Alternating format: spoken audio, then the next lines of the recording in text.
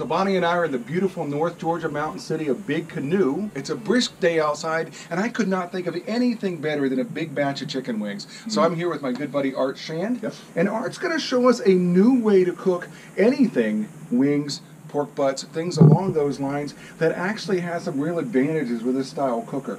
So tell us what we're doing here. Yep, so uh, thanks, George. This is an Orion cooker. As George mentioned, you can cook almost anything you want.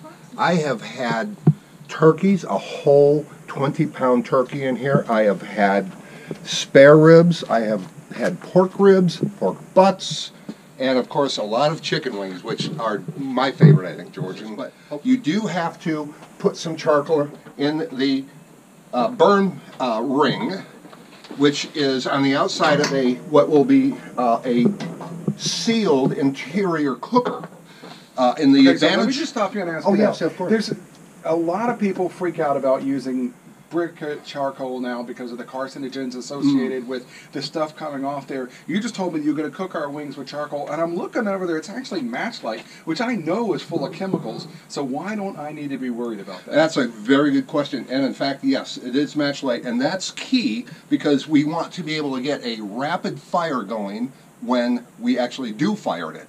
Uh, a lot of traditional charcoal may take hmm, 45 minutes, 30 minutes, 45 to get burned around, but the match light, of course, gets things going quickly.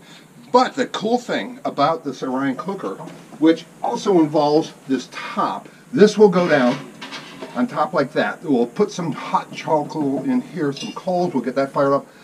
But you can see this is a sealed unit, and therefore, none of the charcoal smoke, the so called carcinogens that are associated with charcoal, are allowed to enter into the cooking chamber. So where does the smoke come from? The smoke, let's do the smoke thing right now and show how that, how that works. There is this stainless steel pan, and it goes down into the very bottom of the pan, like this. And Okay. uh, the smoke comes from any one of a variety of different wood chips. Uh, George, in this case, I think I'm gonna, I've elected to use mesquite. Because it's chicken. Uh, It's chicken Whereas wings. You might use cherry with pork or something. Okay. You could. And uh, Okay. just for uh, the différence, vive la différence, I will put in a little bit of cherry chips as well around with the mesquite, but primarily mesquite. So I want to make sure I got this. The, the charcoal and the stuff with the chemicals in it is going to be outside creating heat. This fresh, natural wood is going to be inside, Inside. generating smoke.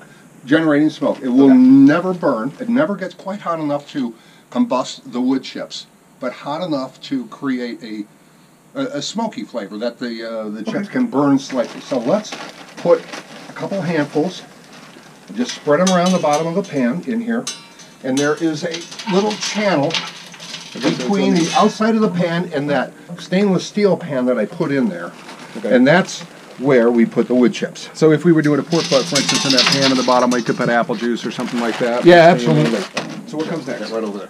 So what's going to be next is uh, I think we can put the charcoal around. Okay, but not light it yet. We're not going to light it. That's the essentially the last thing we do. Okay. The top will get some ch- uh, charcoal as well. So let's Okay. let's spread the charcoal. Okay. Okay, so we've got two rows underneath. We've got our charcoal around. Art's setting up the last of the wings. So the last thing we need to do is put the top on, which fits very snugly. This is. Okay, George, I think we got the bottom ring going well. The last thing to do is light up top. All right. Let's get that uh, match light charcoal, Kingsford match light. Okay, and when do we start the clock on this? Do we wait for the, the charcoal to get white like you do with a regular barbecue, or? Not at all. I think now would be the perfect time to start the clock. Okay. George, what I'm doing is pulling off the wings. They are at 165 degrees Fahrenheit, which is the recommended final temperature for chicken wings. These look these look just incredible.